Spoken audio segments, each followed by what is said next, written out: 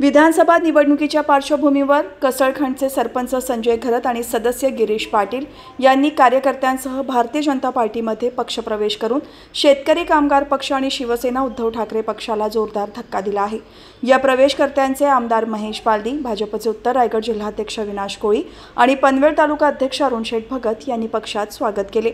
शेका पक्ष आणि उभाटा गटाला लागलेली गळती ही सुरूच असून भारतीय जनता पार्टीने केलेली विकासाची कामे आणि सक्षम नेतृत्वावर विश्वास ठेवून अनेक पक्षाचे पदाधिकारी भाजपमध्ये सामील होत आहेत. त्यानुसार कसळखंडचे सरपंच संजय घरत सदस्य गिरीश पाटील सुनील पाटील बाळाराम वाघमारे विष्णू वाघमारे रवींद्र वाघमारे रोशन वाघमारे गणेश वाघमारे देवदास वाघमारे रामदास वाघमारे पंढरी वाघमारे सुरेश डुकरे महादेव डुकरे राहुल वाघमारे भारतीय जनता पार्टीचे विकासाचे कमळ हाती घेतले.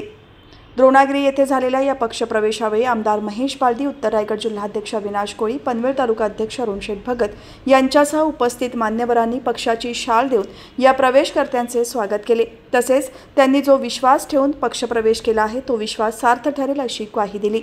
यावेळी आमदार महेश बालदी उत्तर रायगड जिल्हाध्यक्ष अविनाश कोळी पनवेल तालुका अध्यक्ष अरुण शेठ भगत उरण तालुका अध्यक्ष रवी भोईर उरण विधानसभा निरीक्षक रामचंद्र घरत पनवेल तालुका सरचिटणीस राजेंद्र पाटील ज्येष्ठ नेते नंदू पटवर्धन विभागीय अध्यक्ष डॉक्टर अविनाश गाताडे माजी सरपंच अनंता पाटील माजी उपसरपंच महेंद्र गोजे महादेव पाटील अनिल पाटील मेघश्याम पाटील सुरेश नाईक सचिन पाटील नरहरी घरत शांताराम घरत हरेश पाटील दत्ता गायकर सचिन पाटील प्रफुल्ल मते सुमित गोजे यांच्यासह पदाधिकारी कार्यकर्ते आणि मान्यवर उपस्थित होते.